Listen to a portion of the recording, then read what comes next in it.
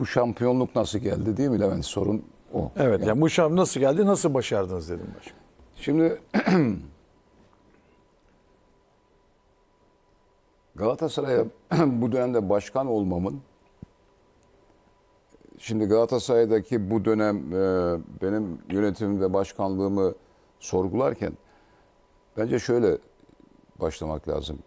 Niye ben aday oldum veyahut da niye yönetim kurulundaki arkadaşlarımla bu işe e, soyunduk? Bunun bilinmesinde fayda var.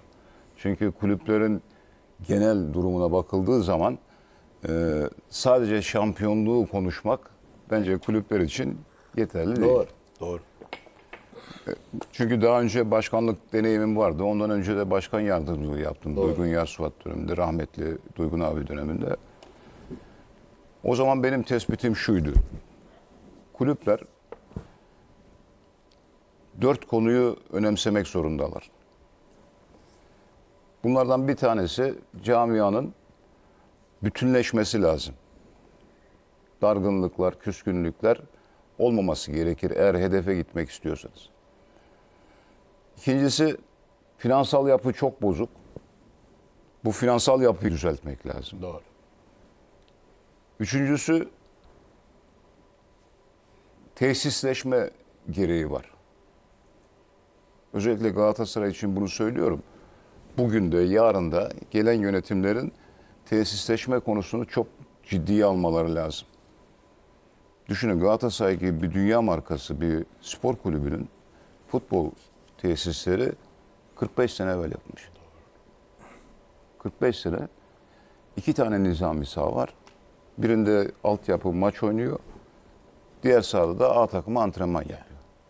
Saha zaman zaman bakım alındığı zaman daha küçük bir sahada antrenman yapmak zorunda kalıyoruz. Bu üç konuyu hallettikten sonra sportif başarıyı önemsemek lazım. Sportif başarı zaten bunların Neticesinde gelir zaten. Sportif başarı da gelmez. Dolayısıyla ben hem daha önceki başkanlık döneminde hem de özellikle o zaman yarım kaldı. Ee, özellikle bu dönemde arkadaşlarıma ben bunu anlattım. Dedim ki arkadaş bu işe soyunacaksak bu işin başlangıç noktası buradan, buradan, buradan, buradan geliyor. Şimdi senin soruna yani şampiyonluk yani bu sezonu şampiyon bitirmenin başlangıcı neresi diye. Başlangıcı şurada.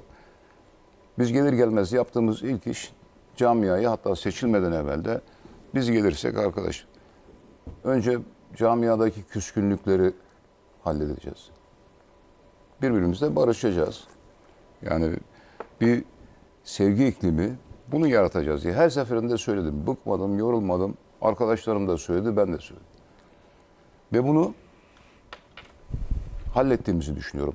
Demiyorum ki yani bütün küskünlükleri barıştırdık ama camianın içinde şimdi bir e, bu arzu ettiğimiz iklim doğdu.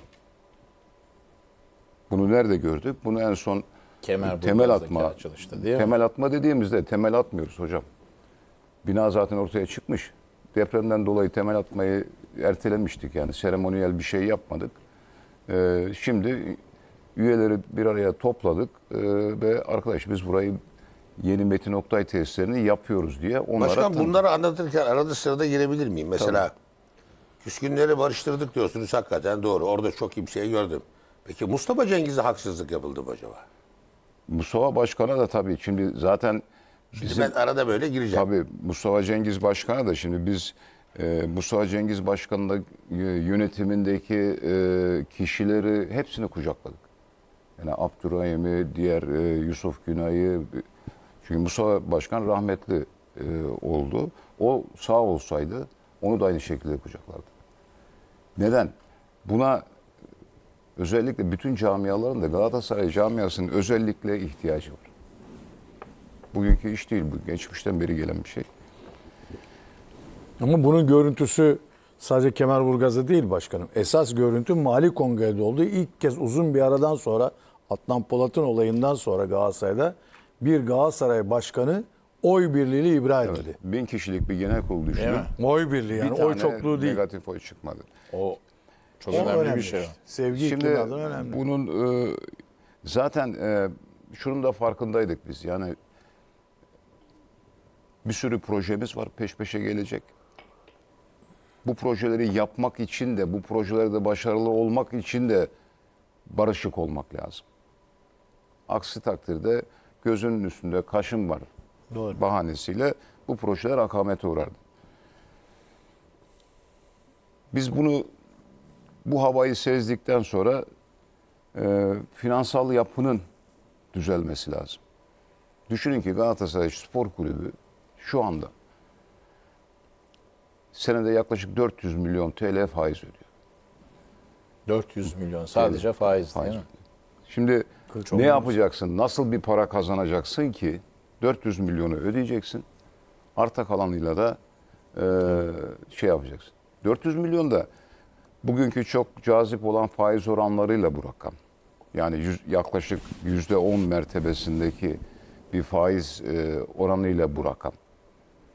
Faizlerin artması halinde veya faizler yüzde 20 olduğu gün bu 1 milyara kadar gider.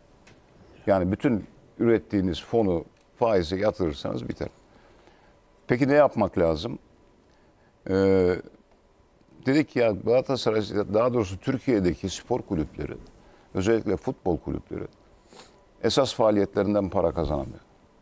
Yani futbolcu üretip futbolcu ihraç etmek suretiyle para kazanmaları mümkün değil. Senede yani yurt dışına yani yaptığımız transferlerde bir veya bilemedin iki futbolcu. Onun da rakamı çok limitli. Yani İngiltere'den Almanya'ya veyahut da Belçika'dan İngiltere'ye bir futbolcu gittiği zaman 60-70 milyon eurolar böyle bonservis Süper bedelleri Lig'den daha o konuşulurken- rakamlarla almıyorlar değil Evet mi? yok. 20 milyon maksimum işte bazen 25 oluyor. 12-13 milyon mertebesinde genellikle gidiyor.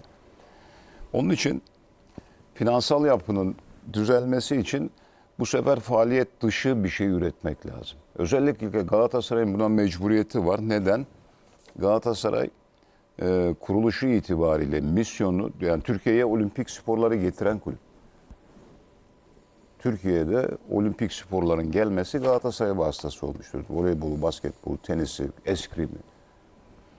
Dolayısıyla Galatasaray'ın misyonunda bu olimpik sporların devam etmesi geleneği de var. Bu yapılan tesislerde yalnız futbola mı cevap verecek yoksa daha başka dallara da cevap verecek şeyler var Onun sırası şimdi geliyor hocam. Onu da çok detaylı anlatacağım. Önce finansal yapı. Önce yani e, finansal yapının düzelmesi lazım. Artık bankalara gitmememiz lazım. Bunun için biz hem dijital ortamda, dijital sahada hem de gayrimenkul sahasında projelerimiz zaten vardı. Seçilmeden evvel de vardı.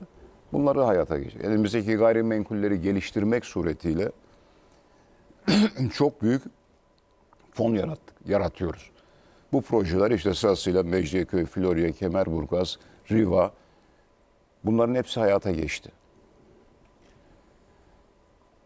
Dolayısıyla Galatasaray'ın birinci hedefi Bankalar Birliği e, Bankalar Birliği konsorsiyumuyla yaptığı anlaşmanın yapılandırma anlaşmasından çıkmak zorunda. Ben burada bütün kulüplere sesleniyorum. Bakın içine girseniz işin münferiden sizin hepinizin içine girse aynı fikre geleceksiniz. Söylenen şu ya 7-8 sene vadeli para veriyor. Ya kardeşim para veriyor da parayı vermiş. Parayı veriyor da sana da iş yaptırmıyor.